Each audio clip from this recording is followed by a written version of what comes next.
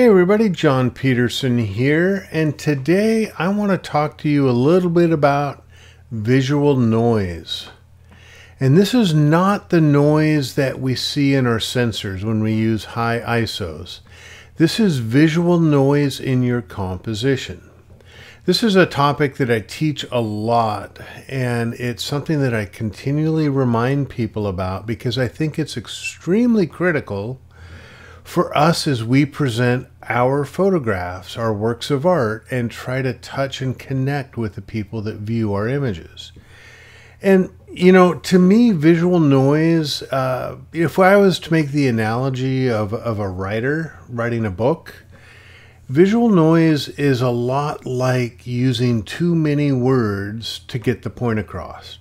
Visual noise is too many elements in your composition. Or, and this is the point of the video today, visual noise is distracting elements or points in your photograph that could be taken away from the visual impact of your subject or your story that you're trying to do. Now, a lot of visual noise is not extremely obvious. A lot of it's very subtle. And it takes time to train your vision to see these things and then eliminate them in Lightroom or Photoshop. And today I'm going to really, really recommend that you go into Photoshop to make these types of edits. Lightroom's come a long way, but their but their cleanup tool is just not on par with the tools that we have in Photoshop. So for those of you that are Lightroom only users and are afraid afraid to go into Photoshop, I guarantee you that this is super easy to do and you will notice a vast difference in your ability to clean up things in your images. So let's dive in and take a look. All right, here we are in Adobe Photoshop. And don't be overwhelmed by all the buttons and everything else you see. This is just sort of my workspace right now. And but the thing that I really want y'all to focus on is this tool over here. And this is called the Spot Healing Brush tool. And it's Command J or J on your keyboard. Um, and it's a real easy way to clean up spots, clean up visual anomalies, clean up that visual noise. Adobe just released a new update for Photoshop in the last couple of months, and they have a new tool called the Remove tool. And so both of these tools do a fantastic job of getting rid of things in your photograph. And there's a different use for each of these tools. There's also the clone stamp tool, which I won't get into today, but I want to I want to talk to you about the spot healing brush and the remove tool. And when I say visual noise, if you look at this image in front of you, what sort of visual anomalies do you see? Like number one, I see this road that's coming through here. You know, this road that's running right along here and here, and it catches my eye. And I don't really want the hand of man in my photograph, so that would be something that I would want to make go away. Other things I look for are bright spots or anomalies that may subconsciously catch somebody's eye. You know, in particularly, like there's this bright stick right there that I see. There's a gash on the mountainside that I see right there. There's these really bright rocks right there that I, that could distract from people looking at my main subject. And oh, by the way, of course, being in the desert, I've got some great dust spots up here. So I would like to show you how to use the brush or the, the spot healing tool as well as the remove tool. And the way I have differentiated them with myself is that the spot healing brush tool is great when I have a really simple spot that I want to remove, like these dust spots up in the sky. I've got a real simple background. The remove tool I tend to use when the edits are more complicated. When I have a lot of texture or pattern or really complicated background, the remove tool does a better job than the spot healing brush tool. So as I said, you can hit J on the keyboard or come over to this icon and hit the spot healing brush tool. And just one quick little housekeeping thing before we get started. If you see this little arrow next to the uh, next to the band-aid, if you click and hold on this arrow, you will see the list of some of the tools that are contained here. But notice I do not see the remove tool. So the way to add the remove tool is to go down to this, these three dots and go to edit toolbar. And here's all the tools on the left here that are in my toolbar. And there's extra tools over here on the right that are not added in. And look down here, the remove tool. I happen to be running Adobe Photoshop 25.1, I think. This came out in 24.5, so if you haven't updated it, you may find the remove tool out here or if you're not up on 24.5 yet, uh, you won't have access to this remove tool.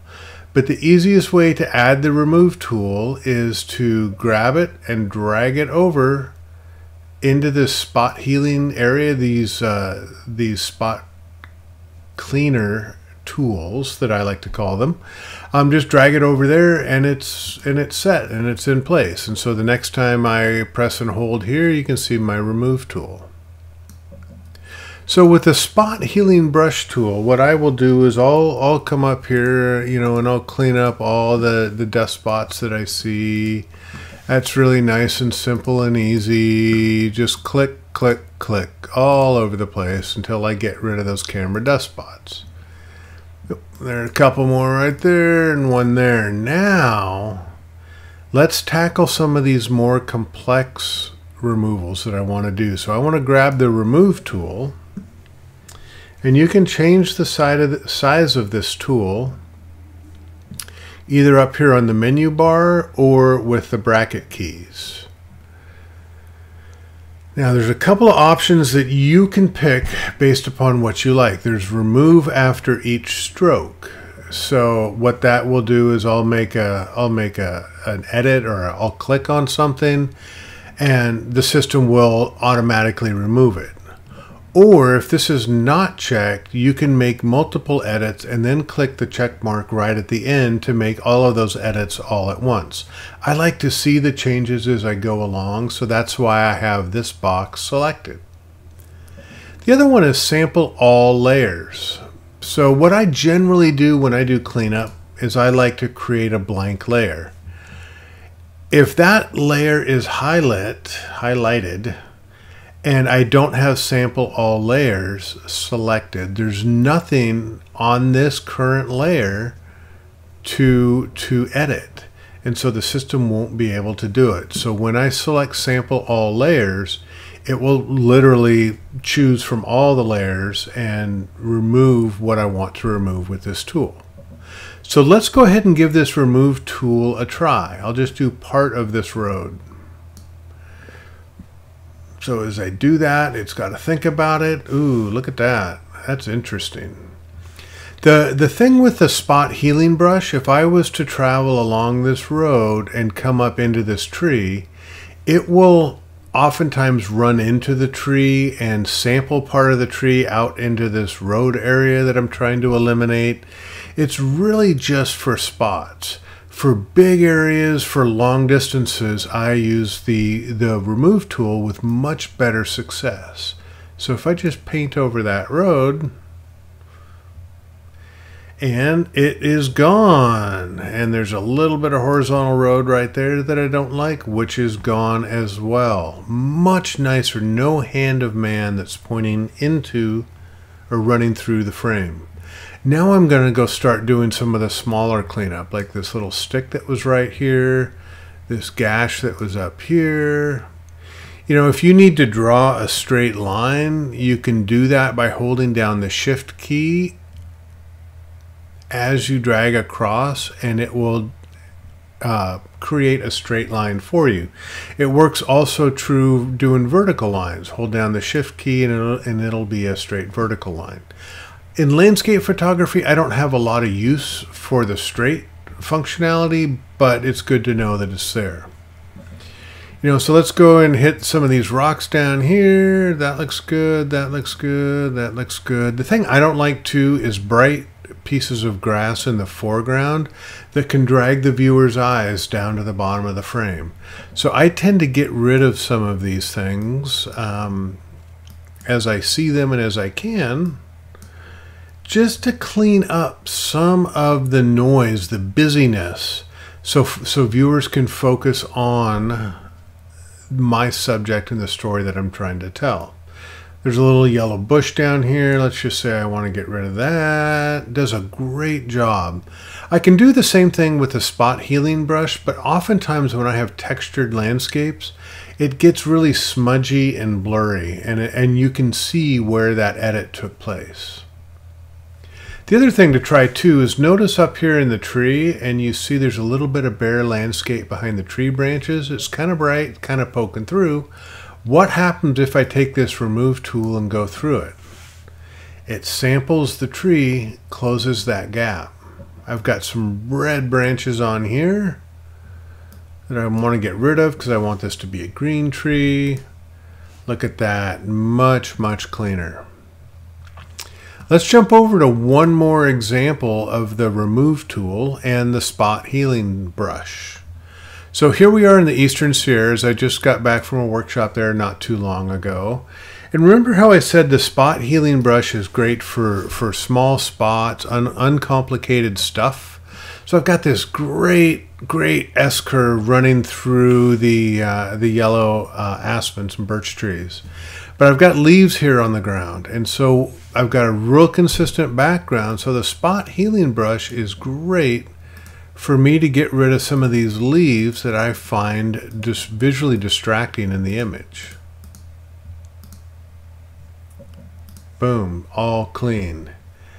Now, see these red snow poles? I want those to go away. I want to remove them. So let's try the remove tool. I've got a complicated background.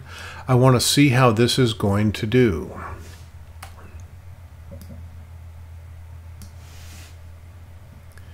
Look at that. No smudge, no muss, no fuss.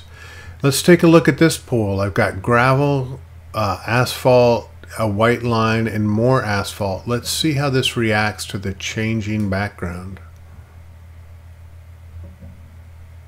Perfect. No squiggle in the line, no nothing. I can't even tell the pole was there. So let's go through and get rid of that pole. This pole. Boy, this just makes it too easy, doesn't it? Let's go clean up that whole pole. I cannot tell. Look at that. Let's make this all go away.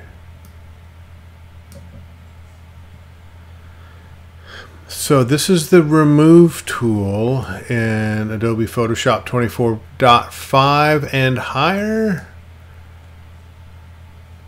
Beautiful. You know, in this this yellow and black uh, warning placard bothers me a little bit visually. The guardrail's not bad, but this placard bothers me. And I don't know what's going to happen, but let's give this a try with the remove tool. Let me paint over the top of that. Wow, look at that. Makes that go away. I don't know what's going to happen over here because it's so complicated. Don't even notice it. Don't even notice that it was there. A much, much cleaner image. And this is what I'm talking about with visual noise. We went from this with these red poles that were very dominant in this scene that, that were very distracting all the way down to that in three minutes clean, crisp, no visual distractions. The only elements are the ones that I want to be there. So it's just a fantastic tool. So, and, and for you Lightroom users, just to close the gap, at this point, if you saved the image, it'll save a copy back into Lightroom for you to continue editing. So that's all you have to do. Simple and easy. All right, folks, there you go. There's a couple of tips and tricks for cleaning up visual noise. Your spot healing brush is great when you have smooth backgrounds or real easy things you want to remove. But the remove tool, the new remove tool in Photoshop 24.5 and later, is the key for really complex removal jobs.